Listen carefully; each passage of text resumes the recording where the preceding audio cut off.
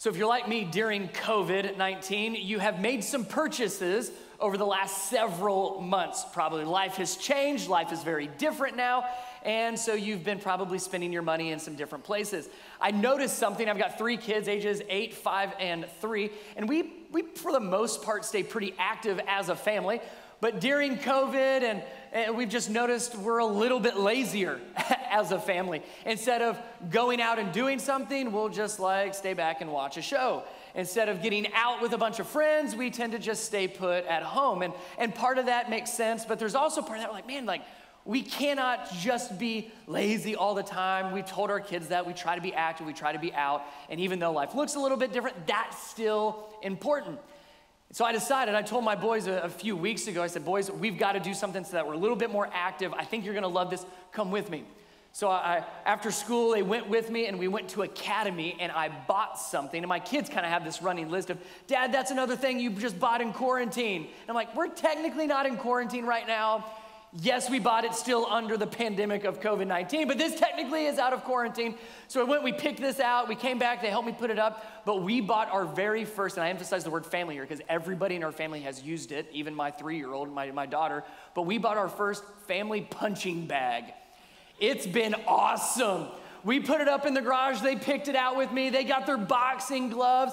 And this was one of those ways for us to stay active. So even though we're not going out about as much, it's like, guys, we still have to stay active. So they've been out there. They've been going at it on the punching bag, both of them. And I'm like, this has actually worked out well. There's been a nice byproduct of this is they don't hit each other as much. They just hit this punching bag. It's been great. My three-year-old, my daughter Collins, you heard me say she uses it. She goes out there and I'll just, she just wails on this thing. And I'm like, man, girl, what is wrong? Preschool couldn't have been that bad today. It's been so much fun for us to get re engaged and to be active again.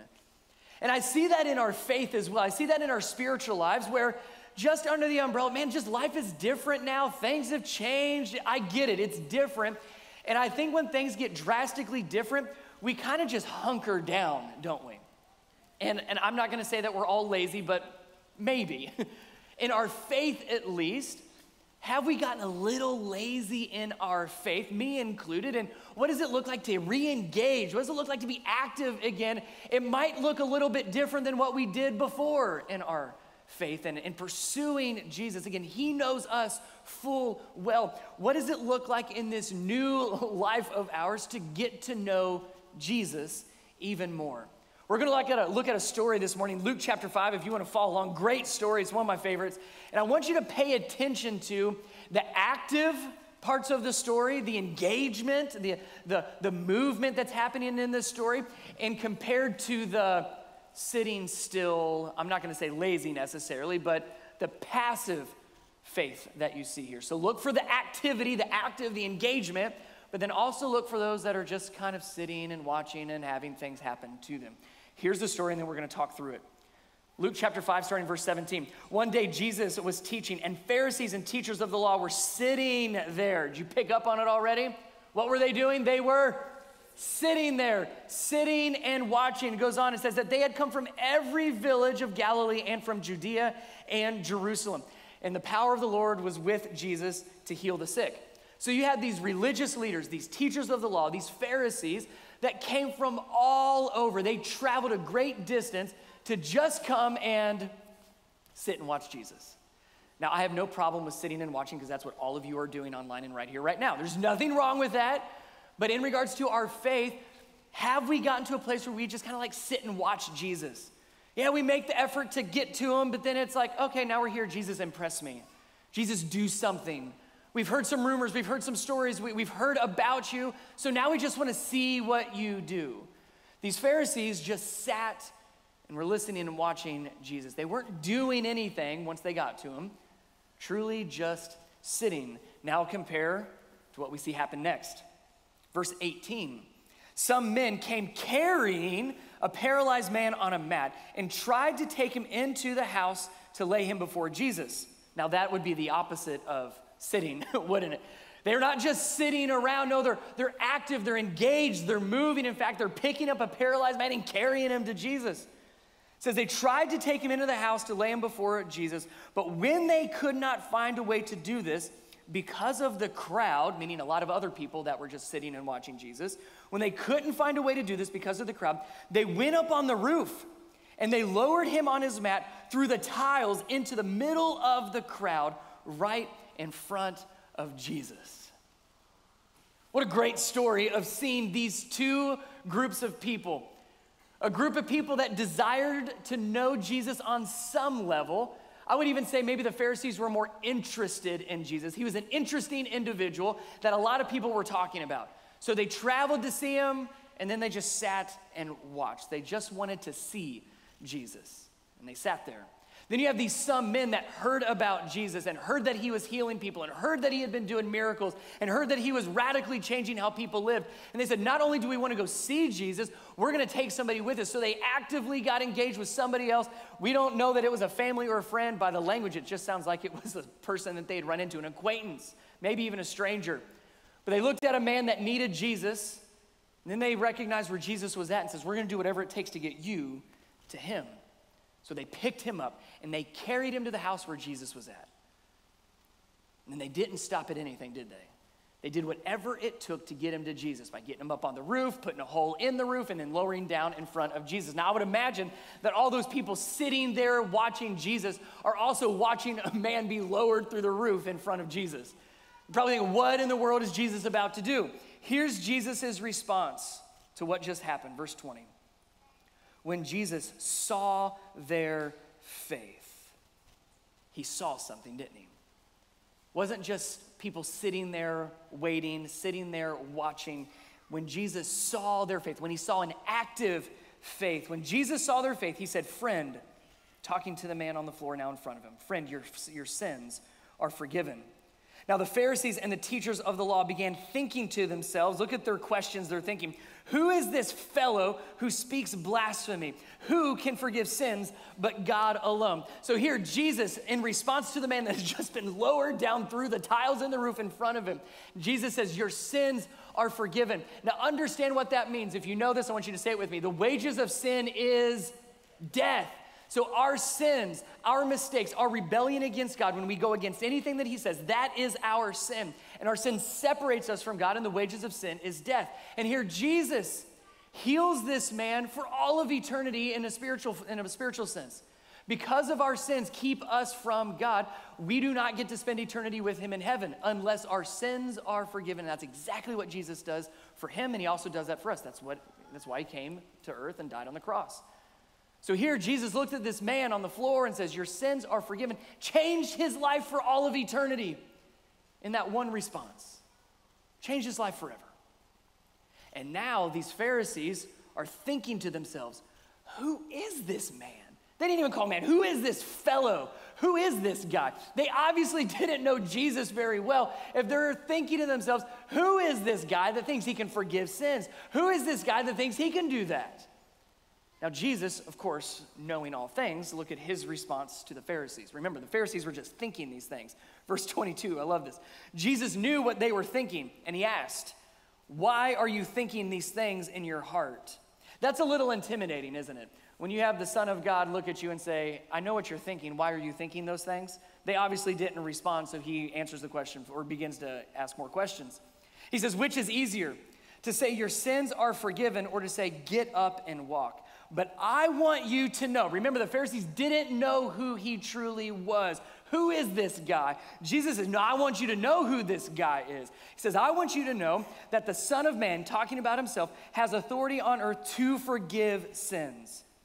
So then he said to the paralyzed man, I tell you, get up, take your mat, and go home.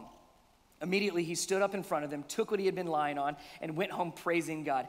Everyone was filled with amazement and gave praise to God. They were filled with awe and said, We have seen remarkable things that day. A great story that shows an active faith, movement, and engagement towards Jesus, and then a very passive faith, if you could even really call it a faith of just kind of sitting and waiting, sitting and watching, sitting and being interested in Jesus. Out of this story, I want us to learn a lot from those some men. In fact, there's four things I want you to know that applies to us as well. That we see it in evidence in their story, but I think it can be part of our story as well. The first one is just know who Jesus is. You have to start there. know who Jesus is. Remember, the Pharisees didn't really know who Jesus was at the time. They, they just heard some things about him. They were interested in him. They wanted to see some things, so they went to see him, and then they just sat. But these some men, they knew who Jesus is. They knew exactly what he was capable of. They knew that he was there healing people. They knew that he could do miracles. And because they knew who Jesus truly was, it changed everything in their life to the point of them, them not just wanting to go and see Jesus, but them take somebody who needed Jesus with them. Again, they knew there was a paralyzed man who needed Jesus, and they knew that Jesus could heal him. So they said, We need to do whatever it takes to get him to Jesus. Have you ever heard the phrase or something like it? You do crazy things when you're in love. Crazy in love, crazy stupid in love, right? There's a ton of movies about them right? There's that idea, and, and we love watching those movies where, where the people in the story, they go to just extraordinary measures to get one another back. They do some crazy things because of love. We do that in our families, don't we? I'm crazy about my kids. I do some crazy things because I love my kids. In fact, yesterday, I sat through a five year old's soccer game in the rain. It seems crazy and it seems strange, and I promise I would not have done that for any other child except my own, but I love them, so I do something that's a little crazy and a little strange, a little odd. We do that as spouses. We do crazy things because we love our spouse. We do things we wouldn't do for anybody else. That when anybody else looks, you're like, that's a little strange, that's a little odd, maybe even a little crazy. You're like, yeah, but I love them. So I do crazy things for them. When you look at the story of these some men, they did some crazy things, all because they knew Jesus and loved him. It was pretty crazy that they went to a man they most likely didn't know and said, We're gonna carry you someplace. That's a little crazy. it's a little more crazy when they pick him up and they actually carry him to this place where Jesus is at. It's a little crazy that they would make that journey. Then they run into the crowd. Remember, it was so crowded they couldn't get in. They ran into a problem. Now, it would have made sense for these some men to say, you know what, we tried our best, we did what we could, it's just not gonna work. Maybe we'll leave you here, maybe you'll see Jesus on his way out. Well, I don't know what else to tell you. We did what we could. No, but they knew who Jesus was, and they knew how much Jesus changed his life. So they did something a little more crazy. They said, We're gonna put you up on the roof. Just imagine seeing some guys carrying a paralyzed person and putting them on their roof. Your first reaction would be, That's crazy, and I'm calling the cops.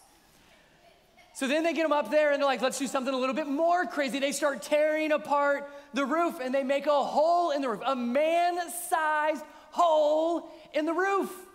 It's a little crazy, it's a little strange. And then they lower this man down through the hole in the roof, right in front of Jesus. It's a little strange, a little odd, and maybe even a little crazy. But when you know who Jesus is and you love him, because of the love that He has given you, when you realize and know the grace and forgiveness and peace and joy and all those things that He gives you unconditionally, yeah, we act a little crazy. In fact, if, if you're a believer, the non believers probably look at you and think you're a little strange. They look at you and you're like, your life is a little odd. It doesn't quite add up. It doesn't make a, to- a lot of sense. You do some crazy things. As believers, You've already done something pretty crazy, in my opinion. You woke up early, got semi dressed up. Some of you really dressed up, make me look bad here. You get dressed up and you go to some warehouse on a Sunday morning, which is most of your all's day off. That's a little strange. That's a little odd. And then we sing songs together uh, that, that are up on a screen, and, and we even maybe raise our hands. Anybody looking in that doesn't know Jesus, that looks super weird. Have you ever thought about what a church service looks like on the outside? It's super strange. If you tithe, if you give of your income, giving 10% of your money back to God through the church, some would say that's just dumb. it's crazy. That doesn't make a lot of sense. You volunteer, you serve, you give of yourself to not just the church, but your, your, your neighbors, your people around you, your community. That's a lot of that's strange because you have so many other things going on. You have so many other things you could put your time and effort into. So that's a little strange that you would do that. You pray for your enemies. As believers, we're told to pray for our enemies and pray for those who persecute us, to bless those who curse you. Man, that doesn't make any sense. Help me understand that one. That seems a little odd and strange and crazy. We could go on and on and on about what the life of a believer should look like and how strange, odd, and crazy it is and how it looks. But when you know who Jesus is, these some men knew who Jesus was. And they were willing to do some pretty crazy things in the name of love. Something to maybe just think through, even possibly even write this down, is how would you finish this sentence? Because I know who Jesus is, how would you finish that? Because I know who Jesus is, what's so different about your life? What's a little bit crazy and maybe even a little strange and odd about your life? Because you know who Jesus is. First thing I want you to know know who Jesus is. That's where we start. Second one is know your part. Know your part. So, a good part of this story is the miracle that Jesus gives. Technically, there's two there's the forgiveness of all of this man's sin, changed his life for all of eternity. We would call that salvation. But then you also have the miracle of take your mat, get up, take your mat, and go home. So, Jesus healed this man spiritually, but also physically, now and forever. And oftentimes we focus on that miracle of the story and go to any of the miracles of Jesus, and we tend to focus on the miracle that Jesus did. But there's another part to the miracle that we sometimes overlook. It's the part that we as people play in that miracle. In fact, this would be a great study for you at some point this week. Start looking through and studying the different miracles of Jesus and look for the different parts people played in that miracle. It'll fascinate you. It's amazing. So here, Jesus healed a man spiritually, but also physically. But don't miss the part that these some men played. If these some men did not pick up this man and carry him to Jesus and take him up on the roof, make a hole in the roof, and lower him down through the roof, would this man have experienced that miracle? I don't know. But I know that this man experienced that miracle at least because these some men played a part in his life change story. Now, these some men did not heal him. They did not forgive his sins, they did not help him walk. They played the part of getting him to the one that could, but they still had a part to play. It's the same for us in the kingdom of God. And I'm not just talking our little church here, I'm talking about the kingdom of God, the role that we play in God's kingdom. Let me read a couple verses for you. Verse or chapter 12 out of First Corinthians gives a lot more around this. I'm just going to read you 27. If you want to go back read the rest of it.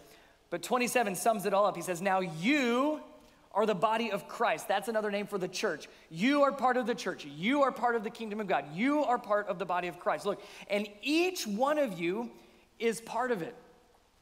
You could, you could personalize that and say, No, I am part of the body of Christ. I am part of the church. I am part of the kingdom of God. And yes, I have a part of it. We all have a part of being part of this thing called church and God's kingdom. In 1 Peter, we see something very similar. Chapter 4, verse 10. We're told each of you should use whatever gift you have received, look, to serve others. Why? As faithful stewards of God's grace in various forms. In other words, what God has given you, you then have a desire to give that to others. What God has given me, I want to serve others. Whatever I have been given, whatever you have been given, we do that for others. We all have a part to play. Know your part. Now, this next part of what I'm about to say, hear me and know my heart a little bit on this one. It is not to make you feel guilty at all, okay? Now, if you feel guilty, maybe that's conviction between you and the Holy Spirit. I'll let you take that up with Him. But my goal is not to make you feel guilty here at all. Think through if we are all part of the body of Christ, right? And if one of those parts is missing, does that body thrive because of the missing part, or does that body suffer because of the missing part? Which one? Thrive or suffer?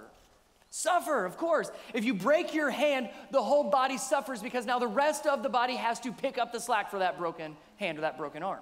When one part of the body gets hurt, the whole body feels it and the whole body hurts. So if each and every one of us is what 1 Corinthians as well as what 1 Peter tells us is true, then when we are missing, when one part is missing, the entire body suffers. Please hear this. When you miss, you are missed. Now, I'm not talking about attendance online, folks. This has nothing to do with you not physically being here at all. We are part of the body of Christ, regardless of where we meet and how we meet. But are you doing your part? What part has God called you to play? Because when you're not doing your part, the body feels it and suffers. So, the question I would want you to begin to ask Jesus this is between you and him, not you and me. Well, what part is he calling you to play in this season, even? Because those parts can change. The part of, the, of this story, these some men, their part to play was to get a paralyzed man to Jesus. And it changed lives. What part is God calling you to play that has the potential for a miracle, that has the potential to change lives for all of eternity and starting today? Know your part and know that you are part of something so much bigger than just your little world and my little world. We're part of the kingdom of God, and we have a part. And when we don't do our part, the body suffers. So know who Jesus is. Know what your part is in that. That's a great journey, a great discussion between you and the Lord this week. Third thing I'd want you to know is know that you need them and they need you. Know that you need them and they need you. As I read through that story, my guess is you related to one or the other in the sense of the men doing the carrying or the man being carried. And throughout our lives, we're going to experience both of those. Sometimes they happen in a long period of time. Hey, in this season of my life, I feel like I'm the person being carried. Life is tough, life is hard, I'm not doing very well, so I need people to carry me. Some seasons of your life, you're like, man, I'm rocking and rolling, I'm moving forward. I've got the capacity and the ability to carry someone else. I can carry on their burdens and I can walk alongside them and help them along the way. You're gonna experience, you have experienced both of those. I need to be carried, and I'm also doing some carrying. Sometimes those seasons are really short. Sometimes you're like, I need to be carried on Monday, but by Friday, you're ready to help somebody else out. So you're gonna see that ebb and flow of I need to be carried. I need someone to carry. I need to be carried. I can be there for someone else now. You need them, and they need you. This man does not get to Jesus without those some men carrying him. But here's the other great part those some men, they still got to Jesus. Both, the ones carrying and the ones being carried, they both made it to Jesus. So I'd encourage you, start thinking through what season are you in? That will help determine a lot of what your next steps are. Are you in a season where you just need some people around you to support you and carry you and help you out? There's nothing wrong with that. Be okay with that. Ask for the help. Ask for the people around you. You need them and they need you. Are you in a season where you can help someone else? Are you in a season where you can carry those around you? Know that, be aware of that, and be looking for the people that God is calling you to carry in this season. Where are you at currently? The New Testament, as well as the Old Testament, speaks to this need that we have for others. In fact, that's how we were created. Yes, we were created to be part of God's kingdom, to play a part, but we also have a part in each other's lives. Proverbs 27 17. As iron sharpens iron, so one person sharpens another. Do you hear that? You've probably heard that. It's a pretty famous scripture. Of we need one another because we make each other better. We make each other stronger. We rough off those rough edges of one another. Ecclesiastes chapter 4 Look at this. Two people are better off than one, for they can help each other succeed. If one person falls, the other can reach out and help. But look at the other side. But someone who falls alone is in real trouble. Let me say that again. But someone who falls alone is in real trouble. You were not meant to go through life alone. You are not meant to go through the season you're in now alone. Likewise, two people lying close together can keep each other warm. But how can one be warm alone? A person standing alone can be attacked and defeated, but two can stand back to back and conquer. Three are even better, for a triple braided cord is not easily broken. You were not intended to go through this alone. Lastly, Hebrews 10. And let us consider how we may spur one another on. Listen to that. Consider, think, plan, brainstorm. How can we spur one another on towards love and good deeds? Not giving up meeting together, as some are in the habit of doing, but encouraging one another. And all the more as you see the day approaching. Now, that again doesn't have to necessarily be physically on a Sunday morning. He's not talking about church there the way that we would define it. It's the need for one another in our lives, the need to have other people in, in our lives. Know that you need them and they need you. Do you guys ever have like family meetings at home? where you like call a family meeting? It's not necessarily like a bad thing, but it's a hey, we need to focus on something. We need to have a talk. We need to have a heart to heart. You guys, you guys do those as families? We have those all the time in our family, I feel like. It's like, okay, everybody around the dinner table, let's talk through something important. I want to have a family meeting with my church for a second. Can we have a family meeting for a second? You're not in trouble. It's not a bad thing. So don't be all tense with me. I just want to share something that I've observed over the last several months. Obviously, we're in still kind of this weird limbo pandemic, not pandemic. It was weird watching Clemson football last night, last night with no people in the stands. The Falcons play today, no one's in this. It's just a weird season, right? I get it, it's weird. But here's what I'm observing, and I feel like we're in a pretty dangerous spot as people. And not just talking believers, but I think especially as believers, but as people, I think we're kind of in a dangerous spot that I want us to just think about for a moment in, the, in this concept of we need others and they need us. Because of our need for safety right now, right? Coronavirus, regardless of what you think about it, this is not a political statement, and I hope if you're offended by what I'm about to say, give me a little grace and know my heart a little bit on this one, all right? But because of our need for safety, things have changed, and we've intentionally isolated to some point, right? And, and some of those have been great benefits, like a lot of good has come out of that. But because of our need to be safe and to keep people at a distance, we do a lot of things without interacting with anybody else. So you can go grocery shopping without ever getting out of your car. You don't have to interact with anybody anymore.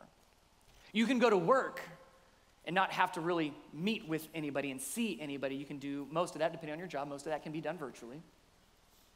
You can get your food from a restaurant without ever having to leave your home. No contact is, is like a good thing right now. I can get my food and it's no contact. Now, this is not new because of the pandemic, but in the church world, you can show up at church and not engage with anybody. And again, that's not nothing against watching online and being part of online. It, Again, you can be part of church regardless of where and how you meet. You can sit in this room and fail to engage with any other person around you. So, yes, I, I want us to be safe. But here's what I see has happened. We have in the intent and desire to be safe, we have defaulted to doing things in an easy way. And here's what I mean by that.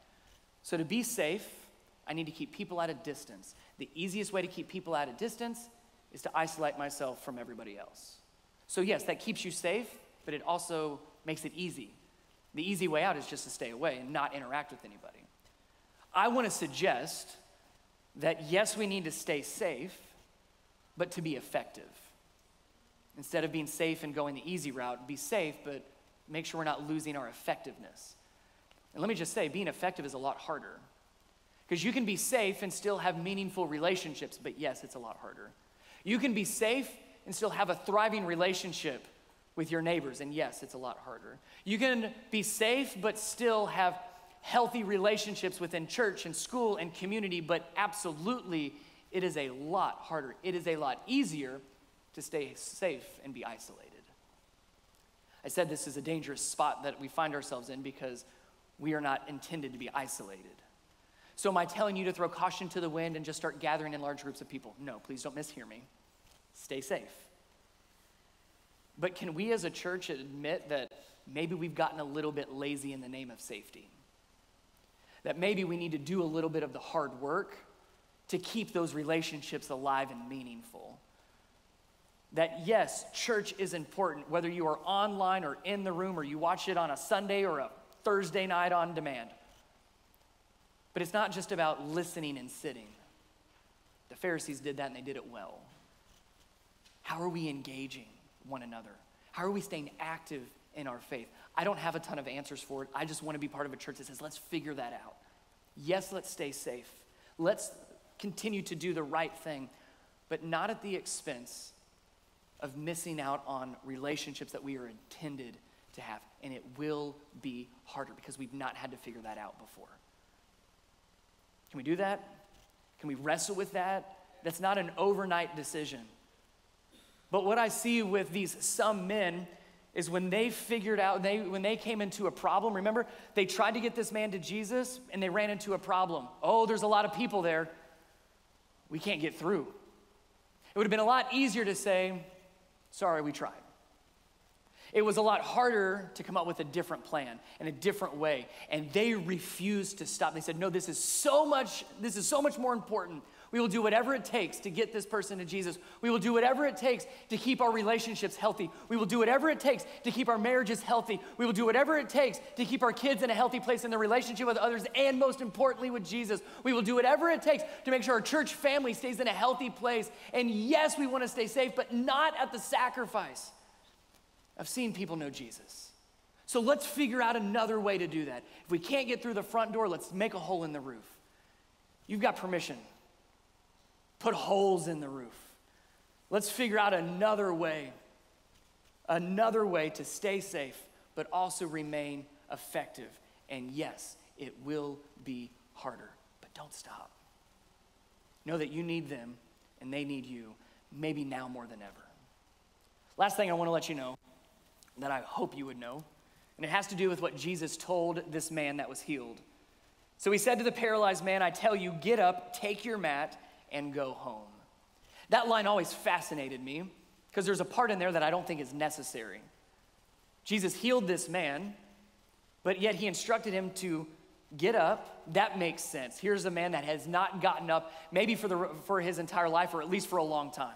Something he was never able to do. Jesus now said, Now you can do. Get up. And he was able to get up. But then Jesus instructed him, Take your mat and go home. Why take your mat? Like that mat represented everything he couldn't do.